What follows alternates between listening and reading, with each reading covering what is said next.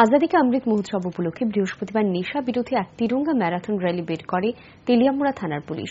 এদিনের র্যালিতে ছিলেন তেলিয়ামুড়া মহকুমা পুলিশ আধিকারিক সোনাচরণ জমাতিয়া, তেলিয়ামুড়া থানার ওসি সুবিমল বর্মন সহ থানার অন্যান্য পুলিশ কর্মীরা। এই ম্যারাথন র্যালিটি তেলিয়ামুড়া থানার সামনে থেকে শুরু হয়ে শহরের বিভিন্ন পথ পরিক্রমা করে পুনরায় থানায় এসে সমাপ্ত হয়।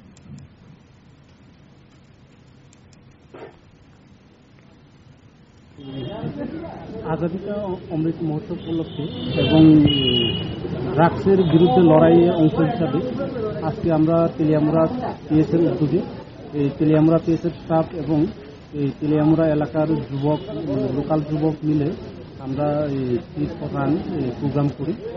এই তেলিয়ামুড়া পিএস থেকে আমরা স্টার্ট করি, এরপর করইলুম, এরপরে নেতাজিনগর পরিক্রমণ করে আমরা তেলিয়ামুড়া এই রানিংয়ের মেইন উদ্দেশ্য হচ্ছে যাতে নেশামুক্ত ভারত গড়া যায়। যাতে সব পদ- মানে কেউ যাতে নেশায় আসক্ত না থাকে, সবাই যাতে এই নেশা থেকে মুক্ত এই জন্য আমাদের সমাজের যুবক, সবাইকে আমি এই কথাই বলতে চাই যে, যাতে এই নেশা জাতীয় দ্রব্য দূরে থাকুন এবং নিজে সুস্থ থাকুন সমাজকে সুস্থ থাকুন এবং দেশের অগ্রগতির কাজে নিজেকে যুক্ত রাখুন